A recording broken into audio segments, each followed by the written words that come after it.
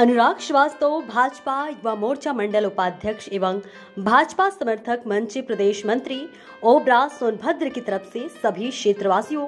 और देशवासियों को होली की हार्दिक बधाई एवं शुभकामनाएं